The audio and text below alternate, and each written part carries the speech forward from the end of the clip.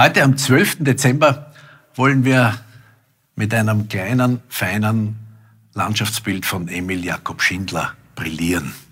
Es ist eine Studie äh, mit der Ansicht Berchtoldsdorfs äh, aus den späten 70er, vielleicht frühen 80er Jahren.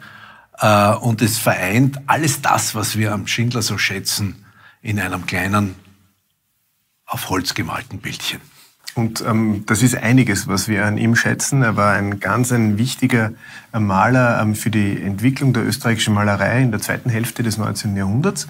Ähm, er ist ein Meister des Lichtes.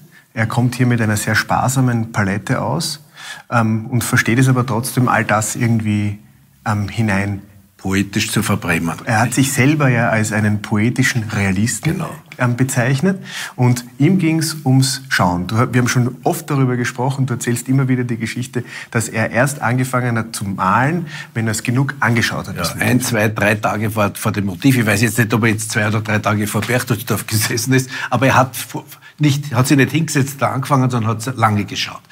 Äh, beim, beim Schindler ist es ja so, der wird immer gerne als Stimmungsimpressionist, weil er Stimmung vermittelt äh, genannt äh, oder wird also dieses, dieser, dieser Titel zugeteilt, äh, was ein, eigentlich ein völliger Holler ist. Er ist ein Stimmungsrealist. Er ist ein relativ also es geht ihm um Poesie und es geht ihm nicht nur um die optische Wahrheit. Der Impressionismus selber ist ja etwas, was nur um, den, um die, wo es nur um die, um die optische Wahrheit geht, um das, was man gerade sieht. Aber er reichert diese, diese wirkliche Wirklichkeit, die er damit äh, transportiert, noch mit einer poetischen Stimmung an. Das ist ein ganz ein wesentlicher Unterschied zum wirklichen Impressionismus. Ja. Und das ist eine Studie, wir können es als Studie ja. bezeichnen. Ähm, Weißt du, gibt es dazu eine, ein ausgemaltes Bild? Na, es gibt kurioserweise vom Karl Moll eines, ja, der mit ihm sehr gut benannt war. Die waren ja befreundet, ein Schüler-Lehrer-Verhältnis. Und ich glaube, es gibt auch ein relativ großes Bild von, von, von Berchtoldsdorf von Schindler. Äh, das waren die Bilder, die sie mit nach Hause genommen haben, die Künstler, um im Atelier das große oder große Bilder zu malen. Daher auch niemals verkauft haben, sondern aufbewahrt haben als ein Erinnerungsschatz in der in der, in, im eigenen Atelier. Daher auch der Nachlassstempel. Es ist ja nicht handsigniert, sondern es ist mit dem Nachlassstempel versehen, weil es erst im Nachlass verkauft worden ist. Aber ein prachtvolles und feines Beispiel für, für Landschaftsmalerei.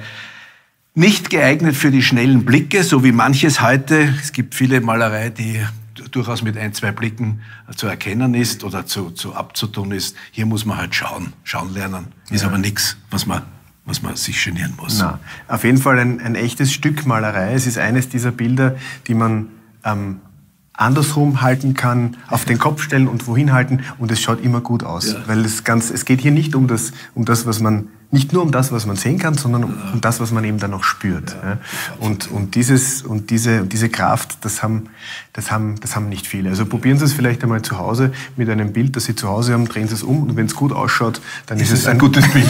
ist nicht unbedingt der Emil Jakob Schindler, aber ein, aber gutes, ein gutes, Bild. Bild Vielen Dank für heute.